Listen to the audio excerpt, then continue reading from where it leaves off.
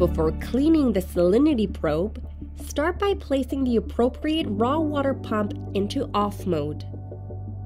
You can then loosen the collar securing the probe in the pipe and remove the probe. With a mild detergent and a plastic brush, scrub the probe thoroughly. Then, rinse the probe in clean water to prevent contamination.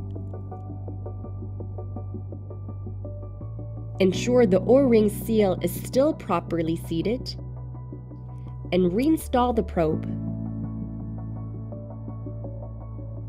Then, tighten the collar. Once the collar has been properly tightened, you can then put the raw water pump to auto mode.